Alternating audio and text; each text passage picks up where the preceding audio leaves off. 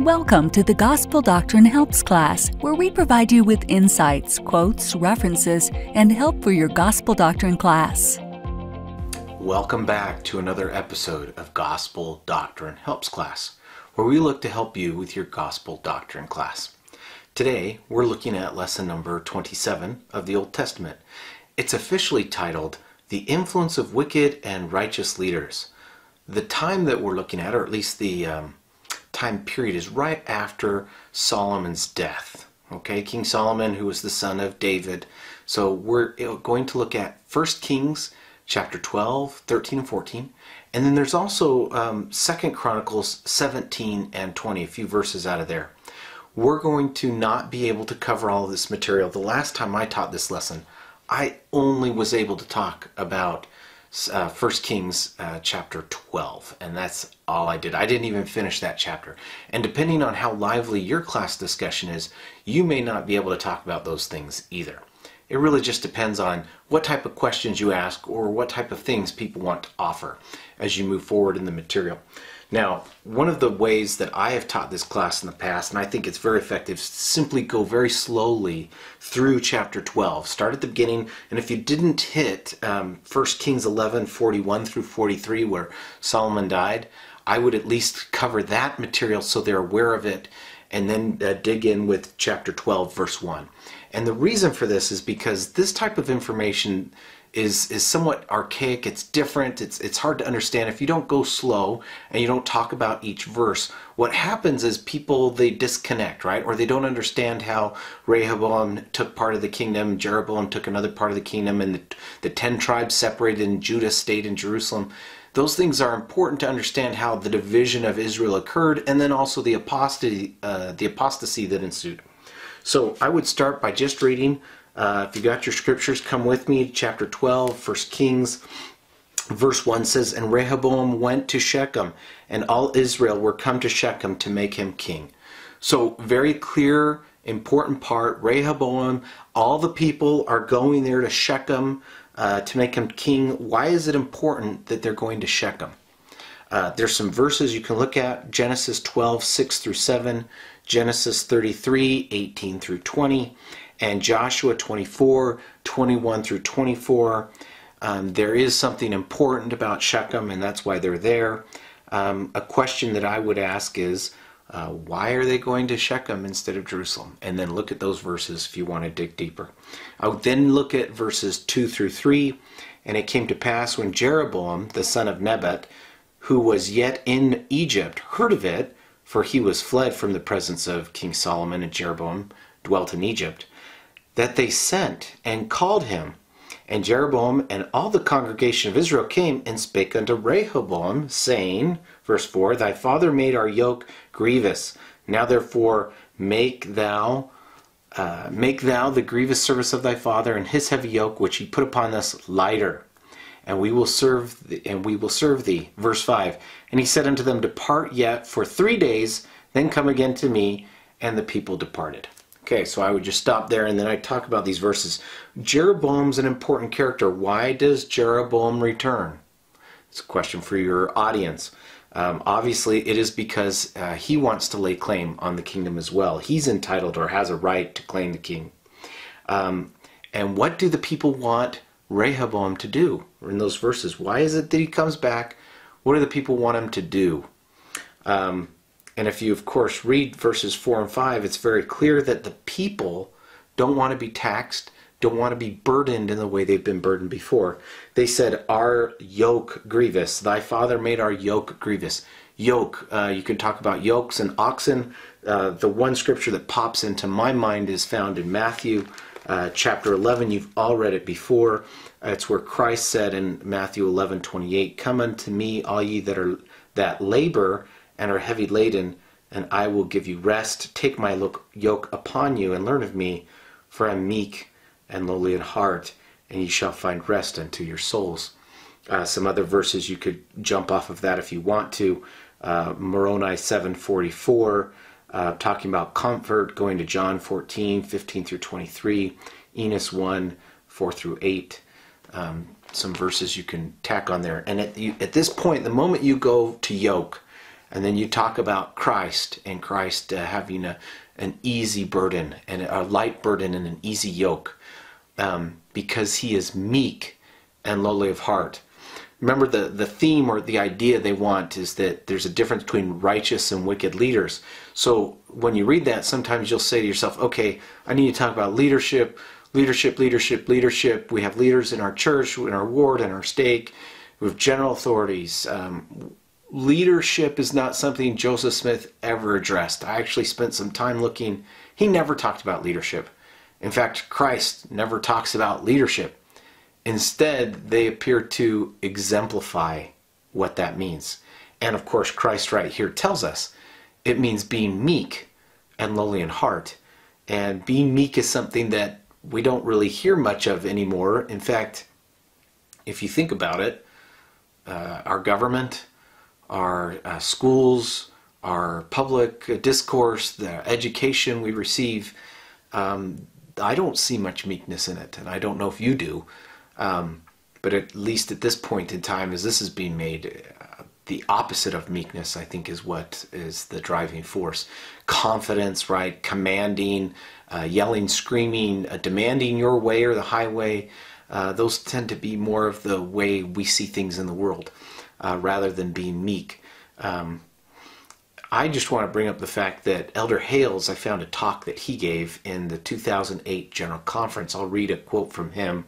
He defines meekness as, quote, to be meek, as defined in Webster's dictionary, is manifesting patience and long suffering, enduring injury without resentment. Meekness is not weakness, it is a badge of Christian courage, end quote.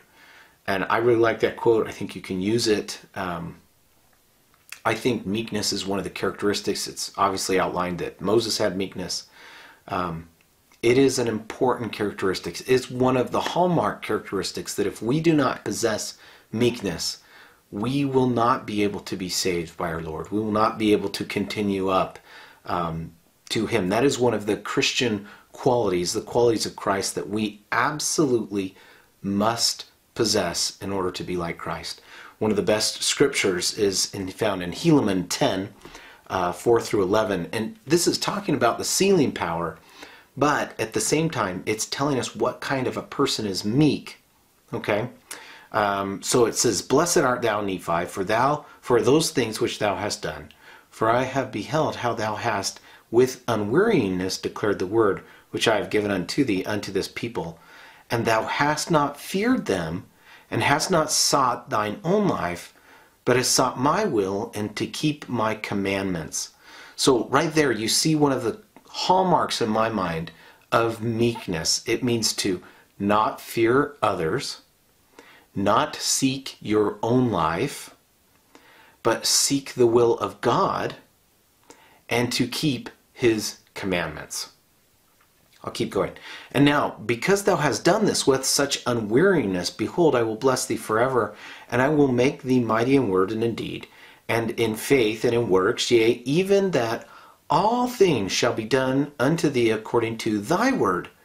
For thou shalt not ask that which is contrary to my will. Think about those words. Being meek means that you will not ask for anything that is contrary to the will of God. Think about that in all of its meaning. Nephi, God is saying, You can be trusted because I know you're not going to ask for anything that I won't, I won't do myself. This is why God can only trust the meek. Only the meek can be trusted because only the meek will not go out, rebel, and do whatever it is they want to do. They will follow Christ. Um, that reminds me of another verse, um, and it's in uh, Doctrine, or not Doctrine and Covenants, it's, it's in 2nd Nephi. Oh, sheesh, I think it's in 28. It is 28, verse 14, um, where he's talking about, Nephi's talking about the our days. he says, they, st- they wear stiff necks and high heads, yea, and because of pride and wickedness and abominations and whoredoms, they have all gone astray save it be a few who are the humble followers of Christ. I'm just going to stop right there. not even finishing the verse, it's the phrase, the humble followers of Christ, is what I want to focus on. We should be focusing on being humble followers of Christ. Humble followers of Christ are meek, they are lowly in heart. All right, I'm going to jump back to Helaman here, chapter 10, 4 through 11. Um, Behold, thou art Nephi, and I am God. Behold, I declared unto thee in the presence of mine angels that ye shall have power over this people, and shall smite the earth with famine, with pestilence, destruction, according to the wickedness of this people. Behold, I give unto you power that whatsoever ye shall seal on earth shall be sealed in heaven, and whatsoever ye shall loose on earth shall be loosed in heaven. And it goes on towards the end here, verse 11. And now, behold, I command you that ye shall go and declare unto this people, and thus saith the Lord God, who is the Almighty, except ye repent, ye shall be smitten even to destruction. That is meekness. First, you have Nephi living a meek life. He did not fear others. He was not afraid to lose his standing before men or even lose his life. He kept God's commandments. And because he did so, he lived by every word that proceeded forth from the mouth of God. And then he was able to show God over a period of time, not instantly, not in 24 hours, not in 48 hours, over probably many years, possibly even decades of doing this, that the Lord trusted Nephi and was able to give him this great power. Um, one of the other parts that we should read is uh, found in Teachings of the Prophet Joseph Smith, talks about this process that Nephi underwent, talks about, uh, and this all does come to leadership because we're talking about meekness, which is the hallmark of Christ like leadership, if there is such a thing. Um, and and uh, I'm looking at page 150. It says, after a person, teaching the prophet Joseph Smith, page 150. After a person has faith in Christ, repents of his sins, is baptized for the remission of sins, and receives the Holy Ghost by the laying on of hands, which is the first comforter, then let him continue to humble himself before God, hungering and thirsting after righteousness, and living by every word of God. You see how Nephi has met all of these things.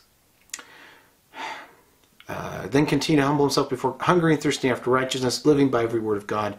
The Lord will say soon say unto him, Son, thou shalt be exalted. When the Lord has thoroughly proved him, and finds that the man is determined to serve him at all hazards, then the man will find his calling and election made sure. Meekness is required for obtaining great power. And you know a man is meek when having great power, he uses it strictly in conformity with the Lord's will, never varying from the Lord's command, never pursuing his own ambitions, his own desires, or his own agenda. This kind of meekness is a very rare, rare thing, but it is essential to acquire. It is essential for you, and it is essential for me, because we need to be like Christ. So, we can go back to our original text here in chapter 12 of 1 Kings you could, of course, spend your whole talk on meekness or your whole lesson. Keep going. Uh, verse 6 And King Rehoboam consulted with the old men that stood before Solomon his father while he yet lived. How do ye advise that I may answer this people? You see, he, he said, I need three days to figure this out. So it goes to these people who consulted with his dad. So these are his dad's advisors, right? They were advisors to King Solomon. Verse 7 And they spake unto him, saying, If thou wilt be a servant unto this people this day, and wilt serve them and answer them, and speak good words to them, then they will be thy servants forever. So what does he say? Be a servant unto this people this day. Think about those words. They are telling this king, You be a servant unto the people. Do you know of any kings that were servants to the people? That's a great question to ask. And of course, your audience will say, Sure, of course, we remember King Benjamin in the Book of Mormon. He was a king, and he gave a, a great speech. And if you turn to Mosiah, I'd write this verse down. It's worth, absolutely worth uh, looking at. Verses 11 and 12 in Mosiah chapter 2. This is uh, when King Benjamin did his final discourse. He's bringing uh, the tower. He's going to teach everybody. He, it's great stuff. Okay, verse 11. But I am like as yourselves, subject to all manner of infirmities in body and mind. Think about that for a minute. He's talking, this isn't the very, very, very beginning, it's pretty close. Verse 9 is the very beginning. But he's saying, I'm like you. I'm just as vulnerable like you. I suffer from infirmities in both my body and my mind. We're the same. I'm not better than you. I'm not elevated than you. We're the same. Think about the humility for a king to tell his people, we're the same. Let's keep going. Yet I have been chosen by this people and consecrated by my Father, and was suffered by the hand of the Lord that I should be a ruler and king over this people, and have been kept and preserved by his matchless power to serve you. Listen to those words. I've been preserved by God to serve you. My job as king, if I have any job, it's to serve you. And how does he serve them? With all the might, mind, and strength which the Lord hath granted unto me. King Benjamin didn't just preach this, he lived it. And of course, verse 12 I say unto you that as I have been suffered to spend my days in your service, even up to this time, and have not sought gold, nor silver, nor any manner of riches from you so he's not taxing them for gold or silver, he served them. And I'm jumping to verse 14. And even I myself have labored with mine own hands that I might serve you, and that ye should not be laden with taxes, and there should be nothing come upon you which was grievous to be borne. And they are witnesses. So you read those verses, and what you realize is King Benjamin is the example. Now, of course, back in Kings, I mean, this was way before King Benjamin was even alive. King Benjamin didn't even exist yet, but he personified the Savior and that he came to serve. How did the Savior live his life? He was not an earthly king, he was a heavenly king, and he came to merely serve. And of course, this is we're talking about Rehoboam, talking about him getting the kingdom. He's going to be made king, and he, they, they want the people don't want to be grievously borne with taxes. They're they're sick of it, right? They're they're fed up. So he counsels with these old older counselors, these older men. In, in our vernacular, we would call them our elders, because because the term elder means wise one, right? Someone who's lived longer, has more experience, and they can they can advise us and what do they say? They say, this is wisdom, right? Do this. And now, it's one thing to keep it in that context where it's away from us. It's a king. We're not kings, right? We're just, we're not queens. We're, we are just lowly people. But every one of us is a leader in some capacity. Whether we're leading a discussion in class, whether we're a teacher, whether we are trying to lead our families, or even just ourselves. How ought we to live our lives? Ought we not to be like King Benjamin and serve others?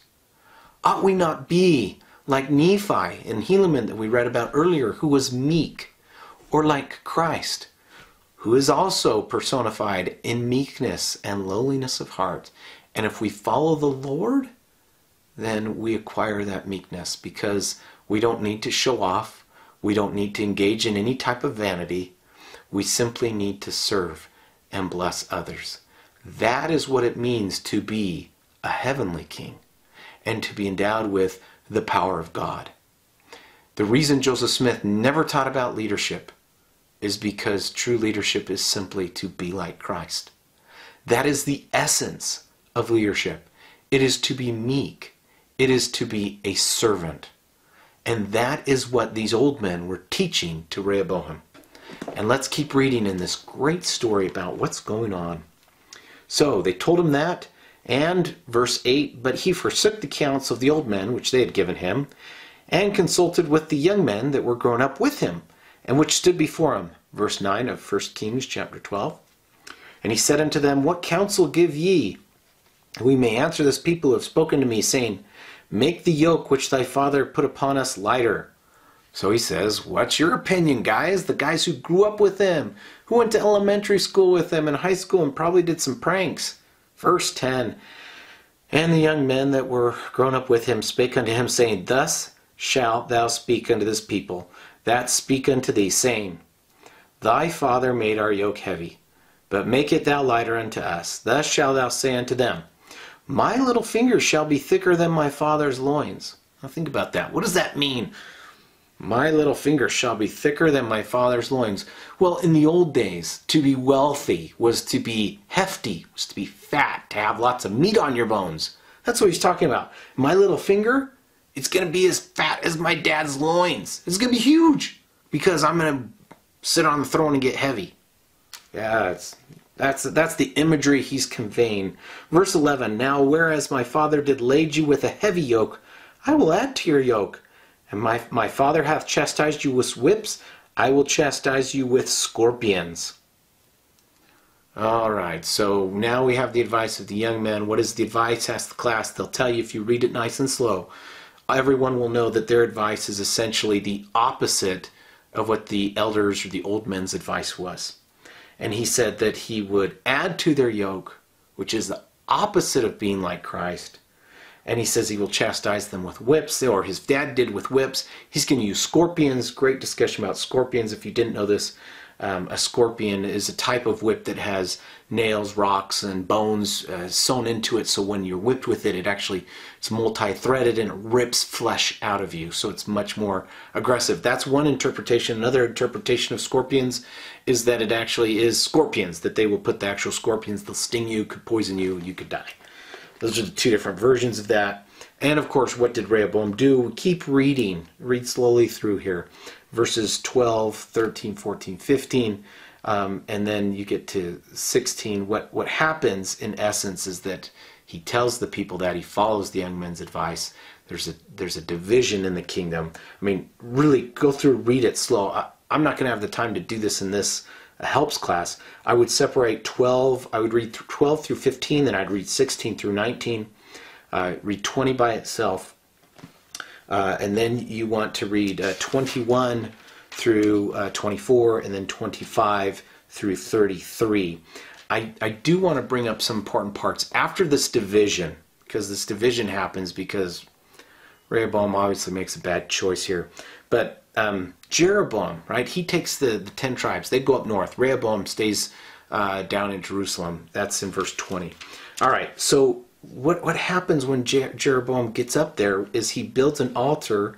And if you read in verse 28 of Kings 12, he says, Whereupon the king took counsel and made two calves of gold and said unto them, It is too much for you to go up to Jerusalem. Behold thy gods, O Israel, which brought thee out of the land of Egypt.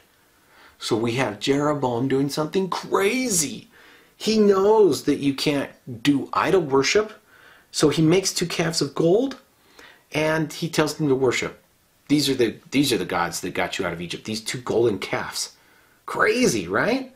But that's what he did. So he falls into apostasy, and Rehoboam does as well. Both kingdoms fall into apostasy, but reference this verse if you're going to talk about this verse if you haven't already talked about idol worship.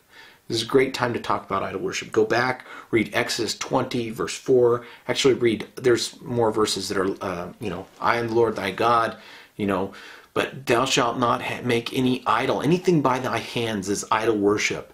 Um, we want to stay away from idol worship.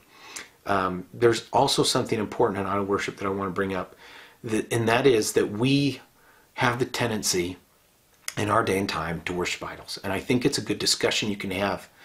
Eh, ask that question to your audience, right? What are our modern day idols? I don't see people with golden calves that they're bowing down and worshiping. Well, um, are they worshiping uh, cars? Are they worshiping their houses? Are they worshiping their job, their profession? Are they worshiping their family? Is their family so wonderful? Um, I would look at uh, another verse, a couple verses to look up if you're going to talk about idol worship. Uh, Doctrine and Covenants 76, I'd read 9 through 99 through 103, where it specifically says that if you worship anyone other than Christ, other than God, that you will be damned. Um, that's the that's uh, section 76 is the revelation about the three uh, degrees of glory, and it's very clear that worship of God alone is correct. You, and, and how do you worship something? Where do you spend your time? Are you following the Savior? Are you a humble follower of Christ? Or are you an arrogant follower of some current leadership principle? Christ is the one to follow. Follow no one else. Follow him. Even be willing as Nephi to sacrifice your reputation among men, uh, you know, criticism, even your own life. Follow the Lord. He alone is worthy to be saved. Don't look for answers from me or from anybody else. Look to them from God. Use the scriptures as a tool, as a Urim and Thummim, so you can come back to the presence of God. That's really what it's about. Don't make anything. Now, remember, this idol worship where he's making calves, right? That commandments in Exodus 20, uh, verses 4 through 5, extends to the likeness of anything that is in heaven. That would include the Lord. This is why those who have seen the Lord, they don't make pictures of the Lord because it's improper, it's wrong. Um, it's not something that we should be doing because those pictures are just guesses. They're not Him. We shouldn't put a picture of Christ and kneel down before it and worship that image. We shouldn't do that. We should instead look up to heaven or bow our heads in prayers and and pray to him and not engage in idol worship. Well, those are the things that I wanted to bring out in this lesson. There's you know what? There's a few more. We have time, right? You're, you don't want to get get rid of me so quickly. Well, shoot, let's look at a couple other verses. Let's look at if you want to go back with me, let's look at, um, oh, talking about idol worship. This is a, a, quote you can use from the Journal of Discourses. This is Journal of Discourses, Volume 1. My set's somewhat old. I think it was produced in the 50s. But this is a talk that was given by President Brigham Young, February 20th, 1853, that was delivered in the Tabernacle. Um, this was not a general conference, but it was delivered in the tabernacle. So uh, the talk is entitled The Privileges and Blessings of the Gospel, and I am quoting from page 312 of volume 1 of Journal of Discourses. It says, Now those men or those women who know no more about the power of God and the influences of the Holy Spirit than to be led entirely by another person, suspending their own understanding and pinning their faith upon another's sleeve, will never be capable of entering the celestial and of entering into celestial glory to be crowned as they anticipate. They will never be capable of becoming gods. They cannot rule themselves, to say nothing of ruling others, but they must be dictated to in every trifle like a child. They cannot control themselves in the least, but James, Peter, or somebody else must control them. They never can become gods, nor be crowned as rulers with glory, immortality, and eternal lives. They never can hold scepters of glory, majesty, and power in the celestial kingdom. Who will? Those who are valiant and inspired with the true independence of heaven, who will go forth boldly in the service of their God, leaving others to do as they please, determined to do right, though all mankind beside should take up the opposite course. Think about what Brigham Young is teaching. He's teaching that you have to connect to heaven. You have to know what God wants you to do. You cannot rely on someone else. No man on earth can be trusted, myself included. You ought to not trust a, a thing that I say. You ought to look it up, everything. You ought to pray about it. You ought to connect to heaven. You can use that in your class. It's a great quote. Think about how deep that goes. That you, when you become an adult, you need to acquire the virtues of Christ. Whatever virtue of Christ you're, missing or lacking, if you don't know, ask God, right? I have heard, you probably have heard too, that if you ask with real intent, um, having faith in Christ, um, He'll tell you what you lack. What lack I yet? You can know these things. Um, James 1 5 comes to mind, right?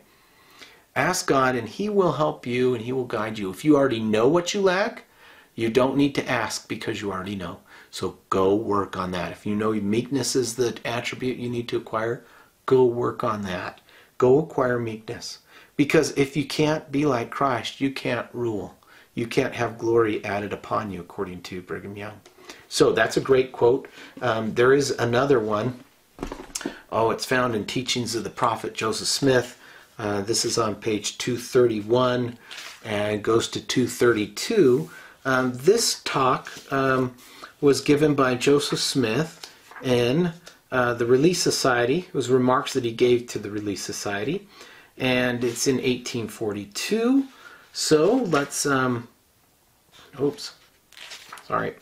Um, sorry, this, this is not remarks that were given to the Relief Society. That was somewhere else. This is also found in History of the Church, Volume 4, page 608 to 610, May 2nd, 1842.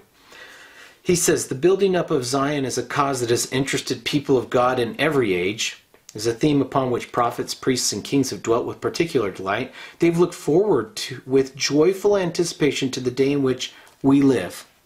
Now think about that. That's 1842. Uh, we're a lot further down the road than that. So if they've looked forward to delight towards that time, maybe they're even more happy now. I'm not sure. They have looked forward joyful anticipation to the day in which we live, and fired with heavenly and joyful anticipations they have sung and written and prophesied of this our day, but they died without the sight. We are the favored people of God, and has made choice of to bring about latter day glory. Think about that. We're the people. You, me. We must rise up. Your class, those you teach. We must rise up. We're the people God's chosen to receive latter day glory. The dispensation of the fullness of times when God will gather together all things that are in heaven and all things that are on earth, even in one. When the saints of God will be gathered in one from every nation and kindred and people and tongue, when the Jews will be gathered together into one. The wicked will also be gathered together or to be destroyed, as spoken of by the prophets. The Spirit of God will also dwell with his people and be with and will and be withdrawn from the rest of the nations. And all things, whether in heaven or on earth, will be in one, even in Christ. I'm going to stop right there for a second because this is so profound and so deep. If you think about it, when Zion will be created, there will be a gathering. The people will gather together into Zion, and the wicked will also be gathered. That's why, if you read uh, D&C 46, it talks about if you are righteous, if you will not kill another person, if you will not take arms to kill your neighbor, you must needs flee to Zion at that time. Because Zion will be the only place where you will be safe at some point. And it's not today, it may not be tomorrow, but sometime. When this happens, as things continue to devolve and the wickedness grows and the righteousness grows, right? Because as righteousness grows, uh, there needs be equal and opposite, right? There's an opposition all things. So the amount of wickedness in the world will rise to the amount of righteousness. And as that happens, the righteous will need to be separated from the wicked because you can't live the Sermon on the Mount um, to the best of your ability when other people will take advantage of you and hurt you and harm you. I mean, you, you can. Christ did it, right? But he was ultimately killed because of it. And we don't really want you to die. We want you to gather to Zion, right? Those who are righteous will gather to Zion. Let's keep going. The blessings of the Most High will rest upon our tabernacles, and our name will be handed down to future ages. Our children will rise up and call us blessed, and generations yet unborn will, will dwell with particular delight upon the scenes that we have passed through, the privations that have endured, the entire zeal that we have manifested, the all but insurmountable, insurmountable difficulties that we have outcome in laying the foundation of a work that brought about the glory and blessing which they will realize, a work that God and angels have contemplated with delight for generations past, that fired the souls of the ancient patriarchs and prophets, a work that is destined to bring about the destruction of the power of darkness, the renovation of the earth, the glory of God, and the salvation of the human family. Those words are profound and they are deep. And the more you ponder them, the more you realize that Joseph knew in May of 1842 that he was just laying the foundation. We have overcome in laying the foundation of a work. We, you and I, stand on the foundation that Joseph built. Our job is to become like Christ. We need to become pure vessels so that we can commune with God. It is not the amount of study that you and I do that truly matters. Unless that study changes who we are, It is the quality of our connection with heaven that matters. We need to have the Spirit and we need to operate by it. There's one more passage I'd like to read that I think is relevant, and it talks about uh, Joseph Smith in the lectures on faith. He explains that it's important to be able to, uh, it's important and to be willing to sacrifice all things. If you're not willing to sacrifice all things, then you're never going to have the faith necessary uh, to the enjoyment of life and salvation. This is what he says. This is found in Lectures on Faith, uh, Lecture 6, verse 5. For a man to lay down his all, his character and reputation, his honor and applause, his good name among men, his houses, his lands, his brothers and sisters, his wife and children, and even his own life also, counting all things but filth and dross for the excellency of the knowledge of Jesus Christ, requires more than mere belief or supposition that he's doing the will of God, but actual knowledge, realizing that when these sufferings are ended, he will enter into eternal rest and be a partaker of the glory of God. You see, it is necessary that we acquire the virtues of Christ. It is necessary that we put the things of Christ first in our lives. And all other things, as Ezra Taft Benson said, will fall into their proper places or they'll drop out of our lives.